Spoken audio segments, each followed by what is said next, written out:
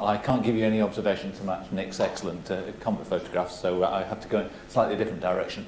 And being a historian, I will start off with a little bit about the history of the historical section. And this picture here, this is the Kodaikanal Observatory staff in southern India in around about the 1900s. And the reason I'm, I'm showing you this is uh, this lady here, Mary Evershed, is the first director of the historical section. Uh, she sat next to her husband. You might think it's this chap here, but actually it's this one. Uh, the, the director of the observatory, John Evershed, uh, a, a extremely accomplished uh, solar observer. He won the gold medal of the RAS. Uh, Mary herself was, uh, was, uh, was also a, uh, a solar observer, Uh, this chap here was the, di uh, the deputy uh, director, uh, so he had to sit apart from his wife when they were taking the picture there. Uh, who knows? For a long time I thought this was Mary Evershed, but no, it's this one here. Uh, and uh, uh, Mary was a quite remarkable woman. Uh, she's better than the current idiot who runs the section. He, she's a, uh, a accomplished solar uh, observer in her own right, uh, astronomical historian, and also a Dante scholar. Uh, if you'd like to read more about her, uh, there's an excellent biography come out uh, by Tracy Docherty uh, from Oregon State University, who is also a Dante scholar and an amateur astronomer, so he covers her, uh, her story in admirable depth. Uh, so we got off to a good start. We were a bit late starting up as a section. Uh, it wasn't until 1930 that we got going, so we were a comment section had already been going for decades by the time that, uh, that, uh, that we got on the scene. Uh, and these are our uh, directors subsequently. Uh, a great bunch, including three, three people who uh, uh, were also presidents of the, uh, of the association, uh, Colin Ronan, Ernest Beat and Derek House. Uh, and I'd like to draw your attention to our very first memoir. We haven't done very many memoirs in our section, but Who's Who in the Moon, a very good read. I still consult it myself. Little potted biographies of everybody on the near side of the moon who's got a crater named after them there's some pretty obscure people on the moon. Uh, and uh, Mary, uh, uh, along with a lot of other people, but she was the editor. She uh, uh, she um, uh, uh, uh she got together all these. I've seen some of them in the RS library. These little uh, five or six lines telling you who these people were. And one of the reasons I want to talk about this is actually there's a new version of Who's Who in the Moon coming out I was talking to Brian Jones, uh, the guy who's putting it all together, actually this morning. It got a little bit lost in the pandemic, uh, but finally they're actually putting the thing together. Uh, he, uh, Brian was uh, kind enough to, uh, to let me, as the current director, write an introduction to this. So there'll be an updated version of Who's Who in the Moon. More uh, uh, an homage, perhaps, back to the, the, the original memoir, but look out for that. It's due to come out spring next year. Um, so uh, we're, uh, uh, we, we, uh, we were, uh, uh, kept the, the, the section going uh, well into the, into the new millennium. Uh, the, the previous directors pr prior to me were more interested, in, regarded the role as more like a, an officer, like a, the archivist or the librarian, uh, that they uh, Uh, uh, uh, they weren't particularly interested in, in encouraging a sort of wider interest in the history of astronomy. and that's the way that things went, and say, up until the turn of the millennium, when along came our sister organisation, the Society for the History of Astronomy. And they rather overturned the apple cart in the way of thinking about the history of astronomy. And really, and many, many people were, were involved in the, the foundation of it, but really, if there has to be a prime mover, it's this chap here, Dr. Alan Chapman. Uh, I hope everybody here has seen him lecture in some manner or other. He is literally the reason I got into the history of astronomy. Uh, when I first joined my local society, Coventry in Warwickshire, uh, back in 1986, he came along uh, to give a lecture for Halley's Comet coming along, to, to, to go back to the previous, uh, the, the previous presentation, uh, only he concentrated on Halley the man. And I realized I was fresh out of university, I'd just done a master's in astronomy, uh, that this was a way that I could keep up with the subject and do research without having to uh, either use supercomputers or, uh, or take observations and try and reduce comet measurements or whatever. This was a different way of being able to, to, uh, to look at subjects. So uh, I, I joined the SHA on the, uh, uh, on the, uh, as a founder member. Were you a founder member, James? No, uh, I, I, perhaps one or two other people were, uh, uh are members of the SHA. Uh, but uh, through, the, through the early years of uh, the, uh, the 2000s, I contributed quite a few papers on people who were astronomers in my neck of the woods. Because that's, that's what Alan brought to the show. He, was, he realised it's not just the, the Edwin Hubbles and the, and the Edwin, Hall Edwin Halleys and so on who are the important people in astronomy. There are people who are doing astronomy in your neighbourhood uh, last uh, 100 years ago, 200 years ago, 500 years ago, or whatever. And lots of them have never been studied. Their stories have never been told.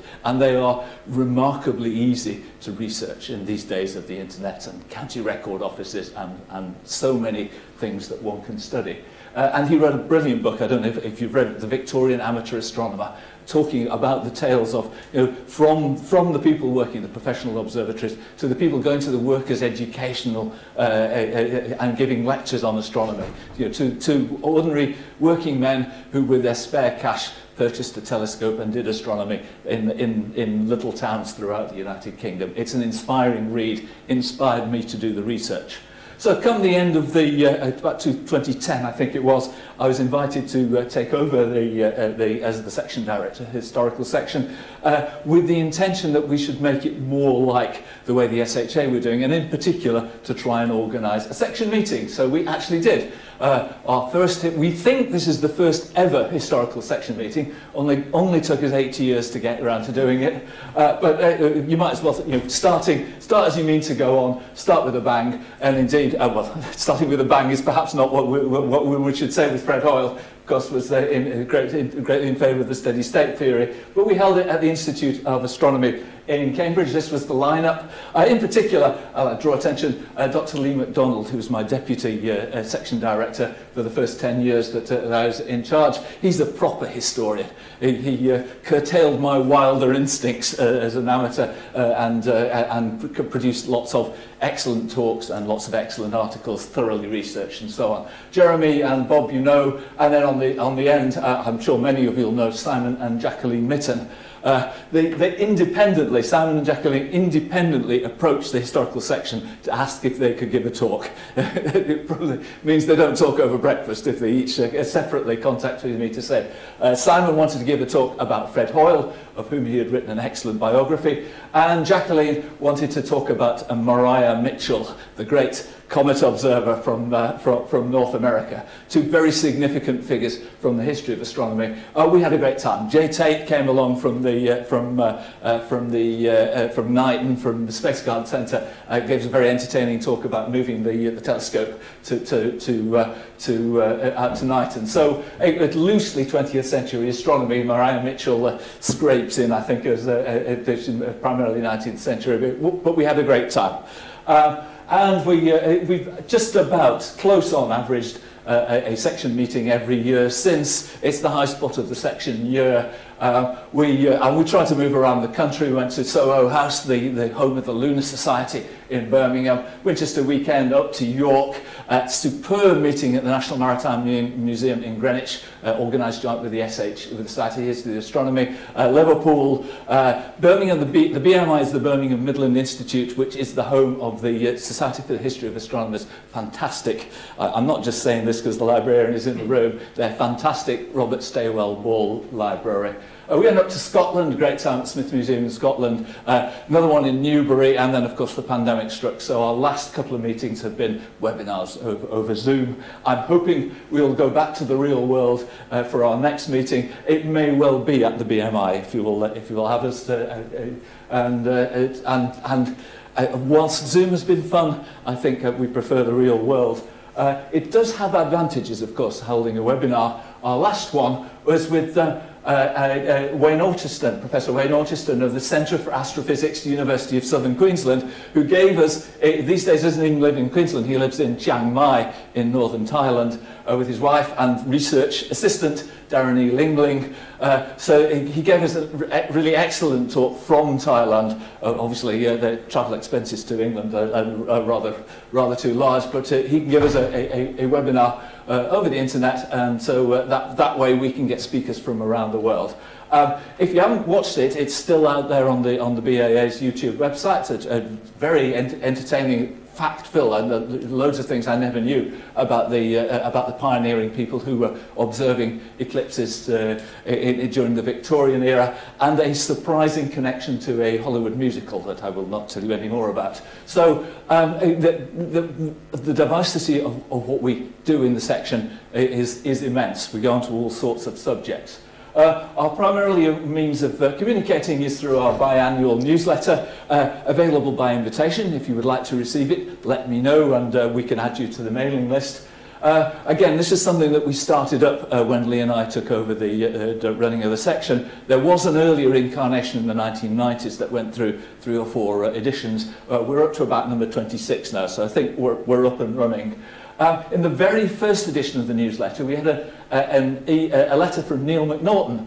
I've been a member of the BAA for 54 years. And we, we, it, it, isn't it good we got people in for so long? And so asking about the Otway uh, manu telescope manufacturers and their claim uh, that uh, interesting, Otway's is that they claim to have been established 1640. I've not heard of Hotway since I came in possession of the catalogue, wonder if they have been wound up or absorbed. So uh, he was asking for information about this.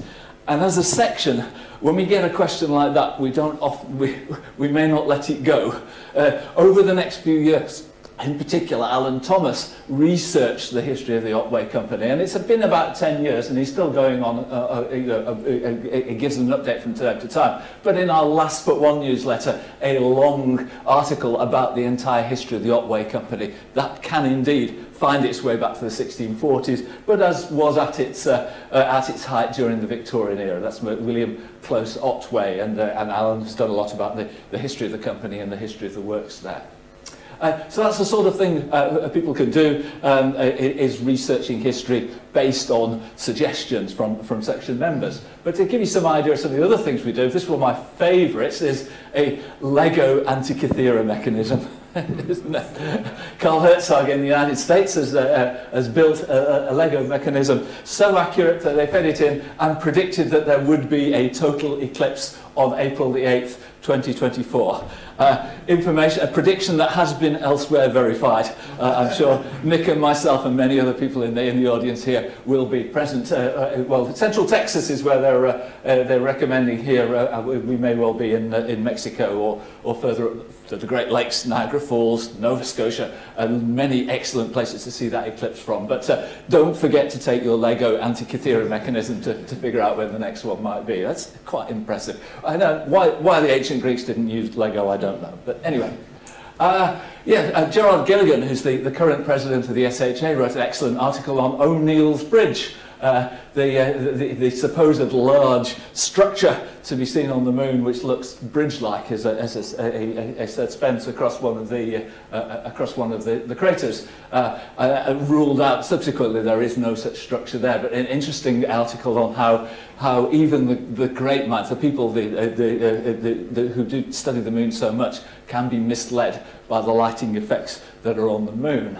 Um, yeah, uh, not to be outdone, I've, I've written several articles for the, the newsletter. Uh, just illustrative. This is a, a, a, a, following up on something called the Box of Stars. I, don't think you've got any here today, James, do you? But the SHA, if you go along to their stand at one of the, uh, at, uh, uh, at one of the, things that they attend, the IAS International Astronomy Show, for example, will sell you a box of stars. Uh, I assume they've got any in stock still, but they, it's a beautiful thing, and it's actually a modern-day reprint of something called Urania's Mirror uh, which were some Victorian educational cards. So there's a card for each of the constellations with the constellation marked up in the, in the old style with the, uh, with the pretty pictures and so on. But moreover, with the stars uh, knocked little holes through. Uh, so the biggest, the brightest stars have bigger holes, and the, uh, the, the, the, the, the, the faintest stars have smaller holes. So you hold them up to the light, and you get light, uh, uh, light pictures of the constellations. Probably best done in a sort of Victorian hovel with a candle in the corner. That's probably the best way of, doing it. But uh, they are still popular, and they're still beautiful.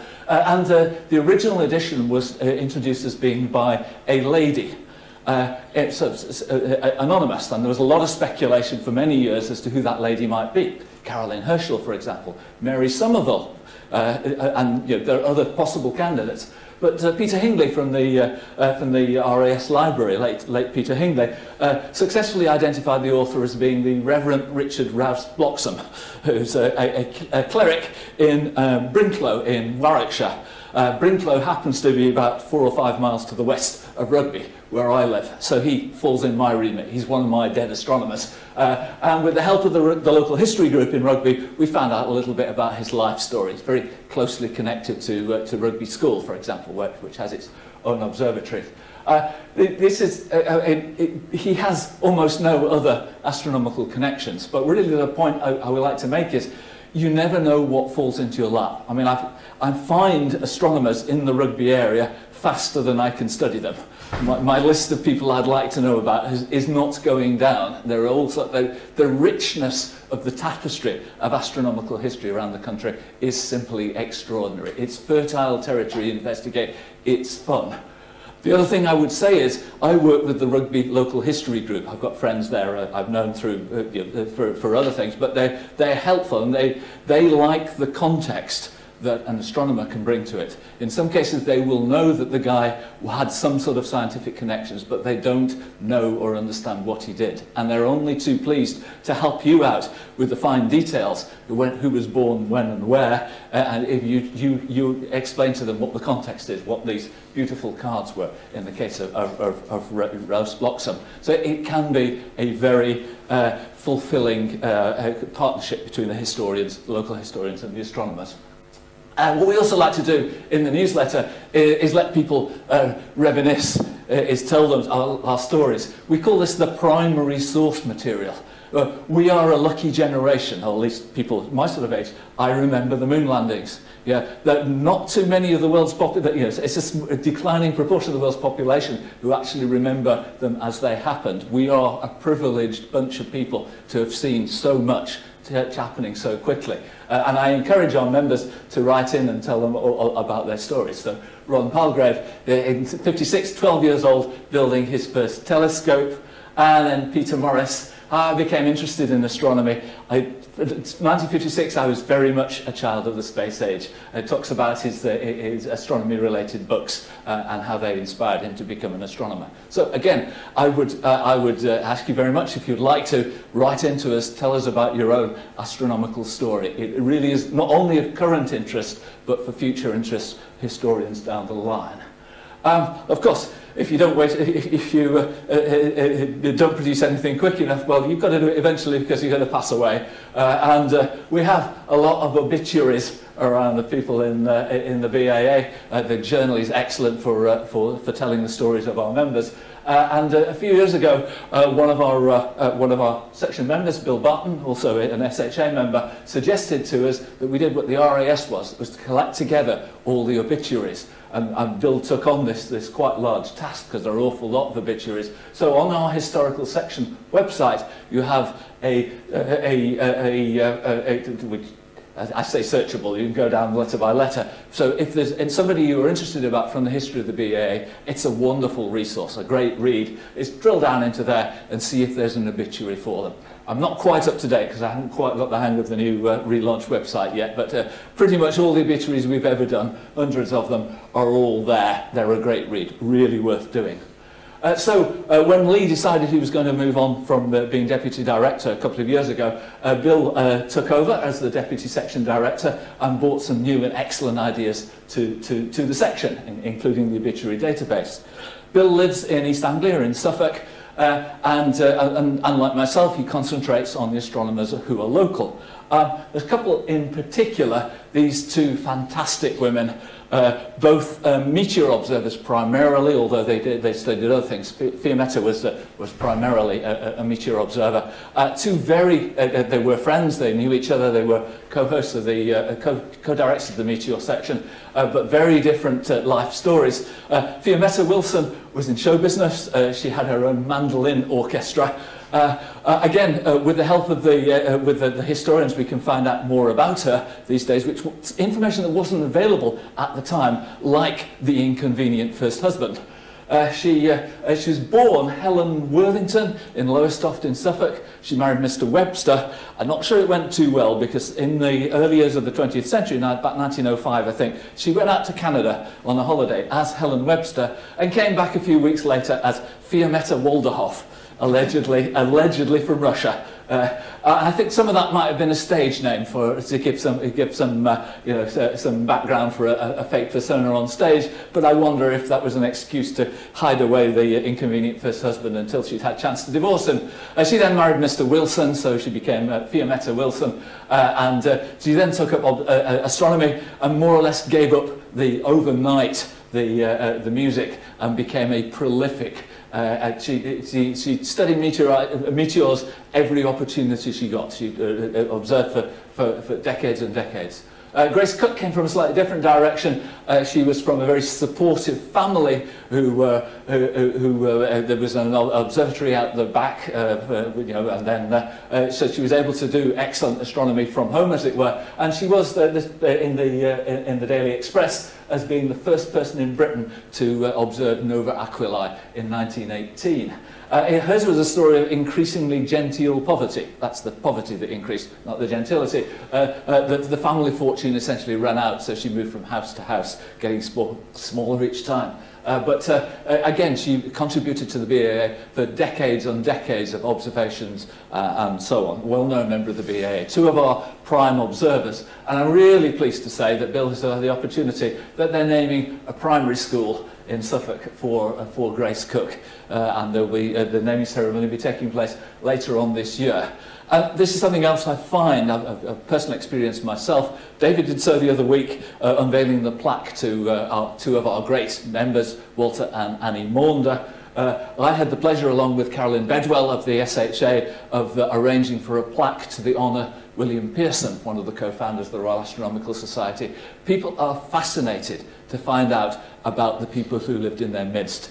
I'm very keen to honour them once they've found out about these extraordinary people who lived in their towns, lived in their villages. You know, we put up plaques, we name schools after them. Uh, if, we, if we get the opportunity to go and talk to, uh, talk to, to neighbourhoods and tell them all about the extraordinary astronomy that's been taking in place in the neighbourhoods, then it benefits absolutely everybody. So I'm going to stop at that point. Please do join us. Come along to our section meetings. Uh, uh, uh, let me know if you'd like to be joined, uh, added to our mailing list. But for one last thing, to give you a practical thing to get your head stuck into, uh, this from Wayne Orchiston. Uh, this is a photograph of an observatory uh, with presumably the, the owner of the observatory sat outside. Um, we, we don't know. Where is it? What is it? What's the telescope? And who is it? Uh, if you look on the internet, there's suggestions that it may be Victorian Australia, Bendigo area, uh, but Wayne is not sure. He's not sure that even is an Australian observatory. So it's up on the BAA forum. Uh, Bill Barton posted it for us. Uh, we'll put it into the next edition of the newsletter if we haven't got an answer. Even if we have got an answer, we'll probably put the, the picture in. But uh, this kind of thing can be fun, finding out these sorts of mysteries. So I hope I have enthused you. Uh, please come along to our meetings have a look in the newsletter. Astronomical history is fun. Thank you.